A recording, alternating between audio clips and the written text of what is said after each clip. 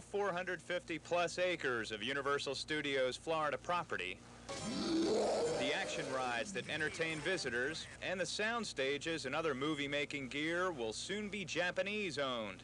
Matsushita Electric, a $27 billion electronics conglomerate, will pay $66 per share, acquiring nearly all MCA holdings. But financial experts say Matsushita will be a passive owner, meaning no corporate shakeups, at least not right away.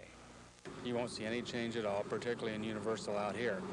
They know that their strong suit is in supplying uh, televisions. They're the largest supplier of televisions in the world and the 12th largest corporation, so they're buying this for the long term.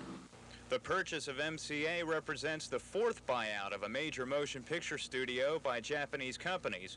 While some see that as reason for worry over foreign investment in the U.S., others say it'll give Universal the kind of money it's been looking for to build more studios and parks worldwide.